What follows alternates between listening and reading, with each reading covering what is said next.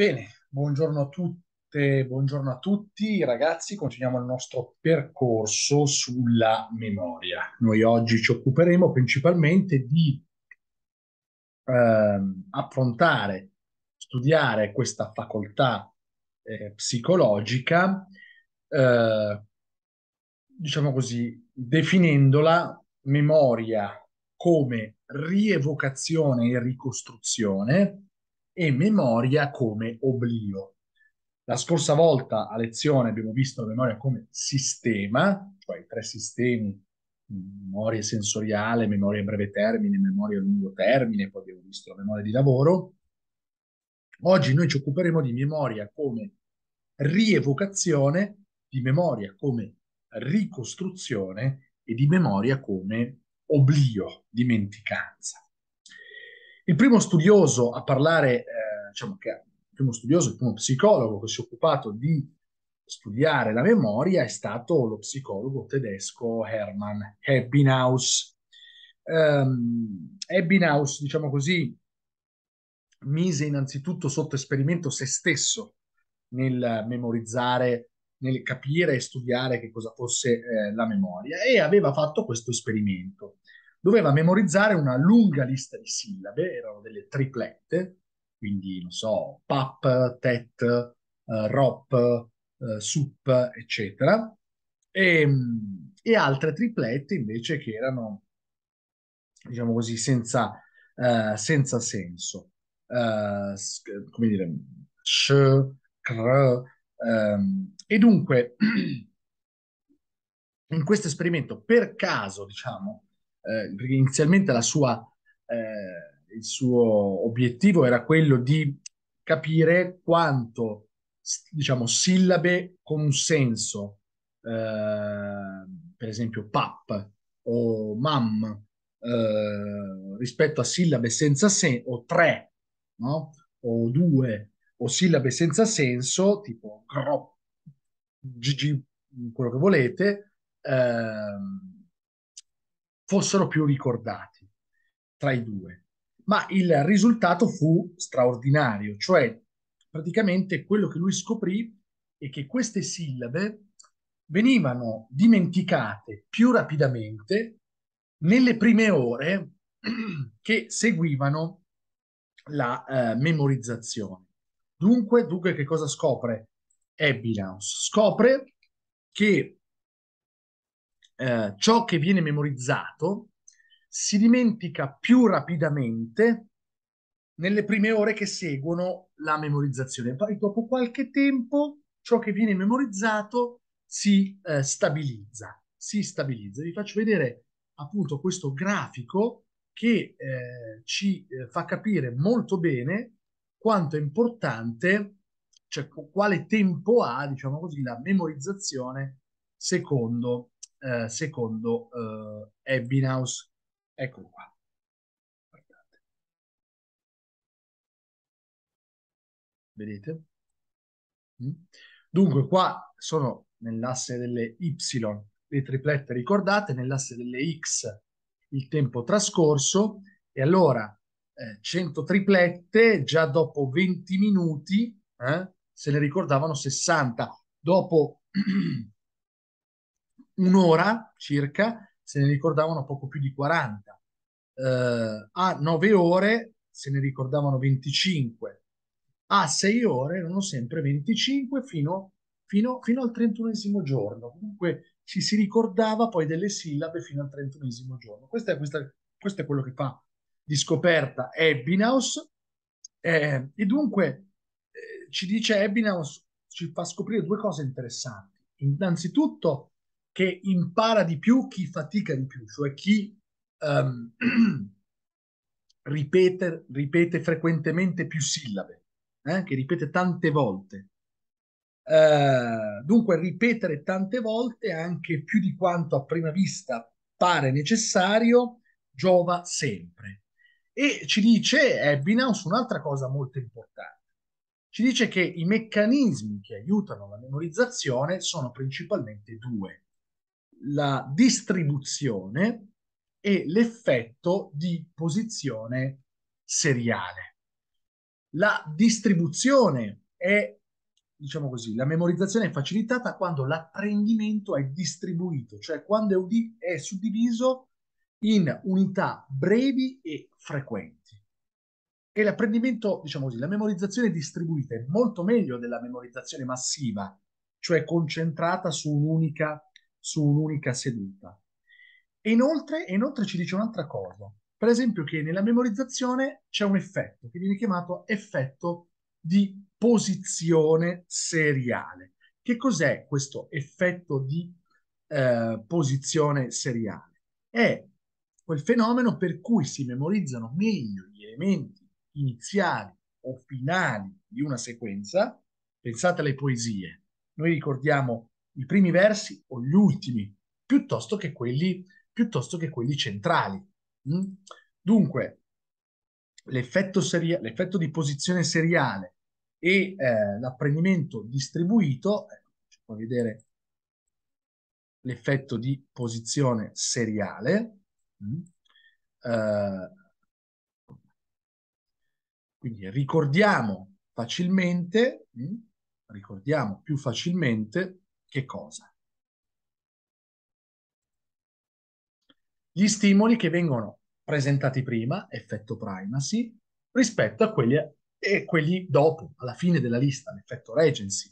Quindi il ricordo delle prime informazioni è facilitato perché? Perché l'abbiamo visto già l'altra volta, la memoria, eh, diciamo così, a lungo termine registra queste informazioni ehm, e eh, l'effetto regency è più, diciamo così, eh, facilitato dalla memoria a breve termine, perché sono le ultime sillabe, sono le ultime informazioni che dobbiamo trattenere nella, nella memoria. Dunque, gli stimoli prima e gli stimoli finali sono quelli che ricordiamo, sono quelli che ricordiamo meglio e questo si chiama effetto, effetto di posizione seriale. Possiamo vedere anche con questo piccolo eh, gioco, no? l'abbiamo visto la scorsa volta a lezione avete 30 secondi per memorizzare queste sillabe, dopodiché avete 30 secondi per scrivere sul foglio. Un altro modo di definire la memoria è definire la memoria secondo ricostruzione. E questo fenomeno di ricostruzione è stato studiato da Frederick Bartlett, che è l'autore di uno dei più importanti volumi sulla memoria 1932 che si chiama Ricordare.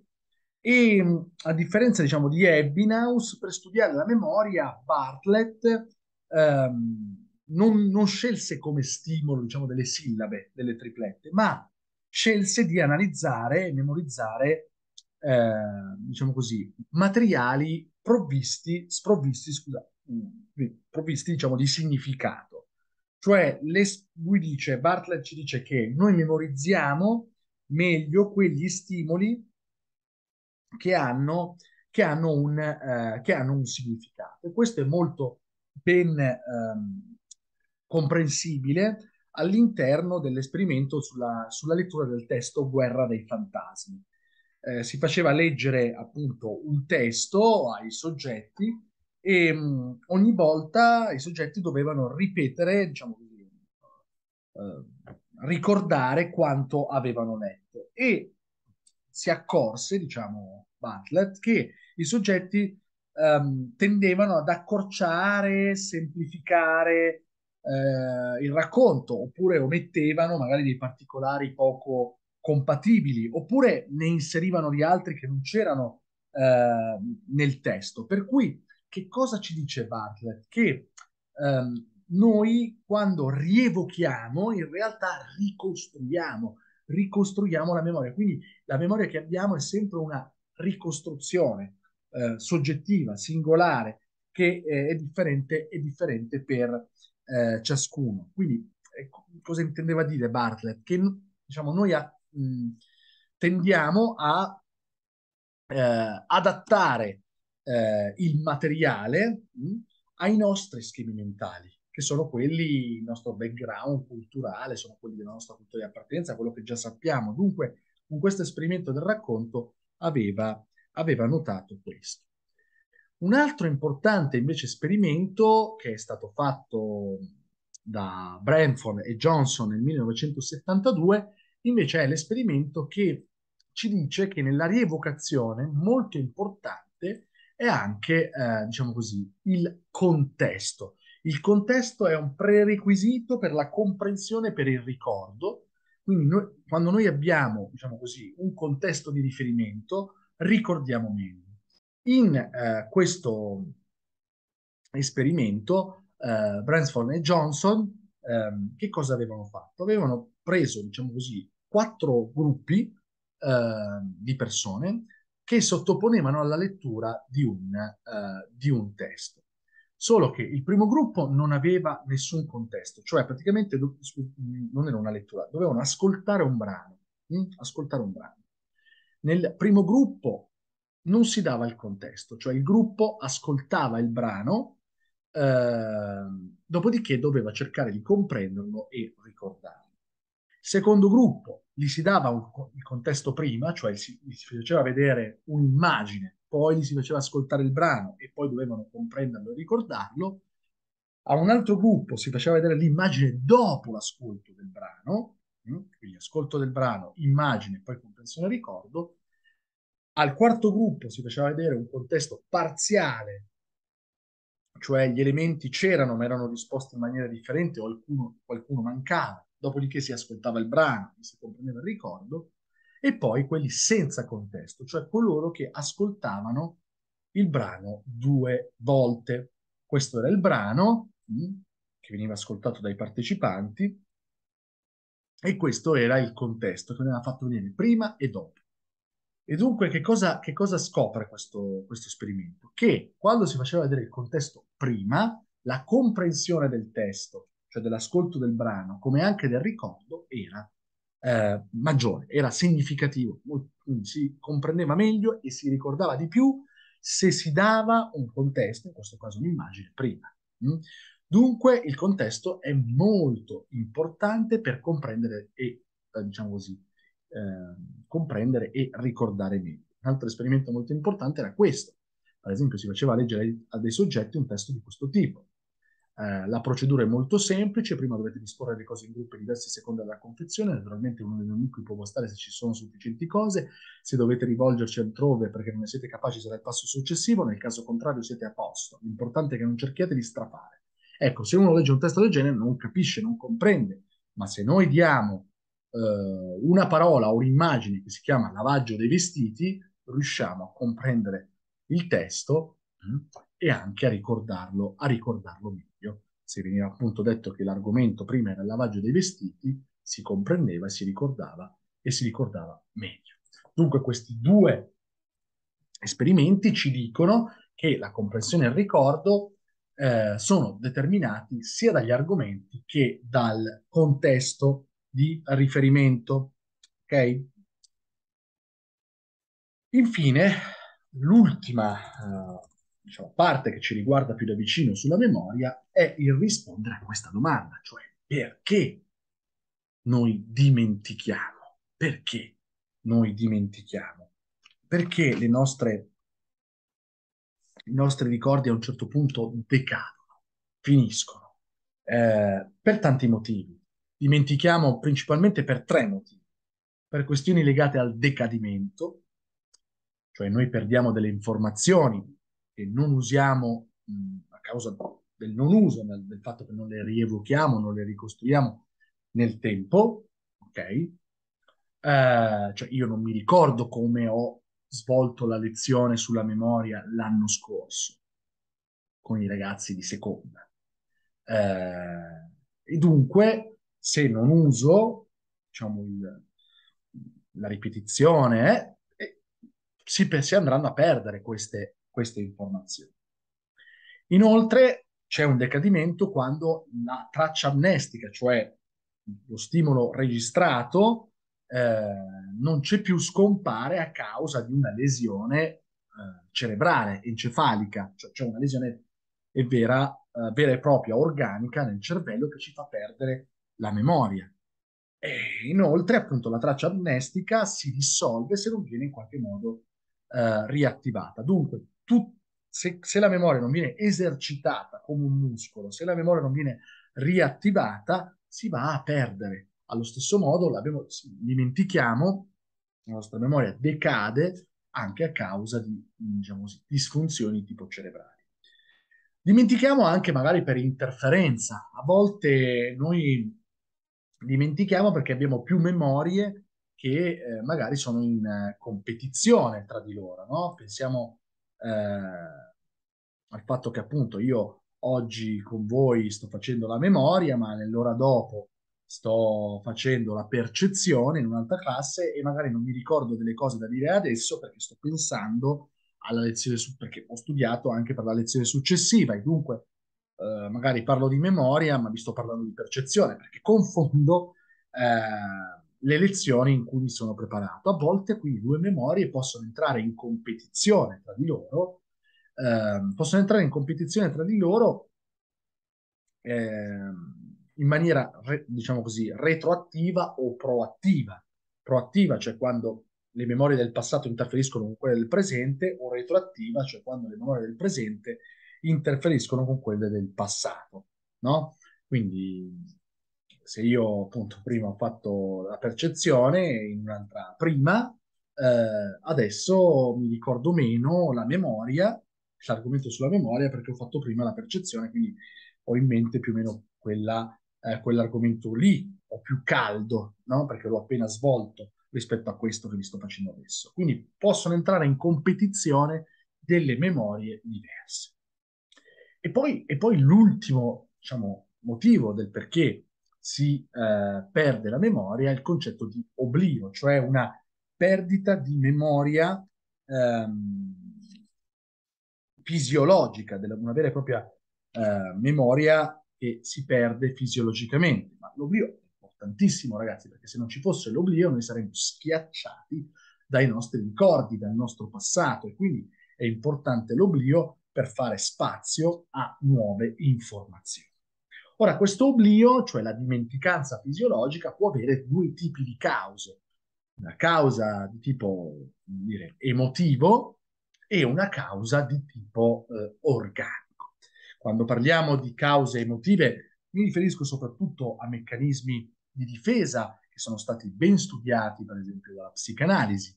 Pensiamo a Freud quando parlava dell'oblio eh, come, diciamo così, meccanismo di rimozione, no? Cioè quel meccanismo psichico in gran parte inconscio, inconsapevole, che allontana dalla coscienza desideri, pensieri, residui mnestici che sono considerati dal soggetto inaccettabili, intollerabili, che provocano nel soggetto appunto vergogna. E dunque noi tendiamo a rimuoverli, a rimuoverli in che cosa? In quello che viene chiamato inconscio. Oppure l'oblio può avere anche delle cause organiche ehm, quando parliamo di cause organiche ci riferiamo principalmente all'amnesia, eh, cioè amnesia, cioè mancanza di memoria, cioè una perdita parziale o totale della memoria che è dovuta a cause di tipo patologico, cioè organico. Ora, questa amnesia può essere legata appunto a cause di tipo organico, siamo predisposizioni genetiche degenerative, magari un incidente, un trauma cranico o magari l'intossicazione da alcol o l'invecchiamento stesso, ma può essere anche un'amnesia di tipo psichico. E quindi non ci ricordiamo completamente o parzialmente alcuni eventi perché siamo troppo stressati o siamo in uno stato di uh, ipereccitazione uh, emotiva Ora, l'amnesia può essere di due tipi.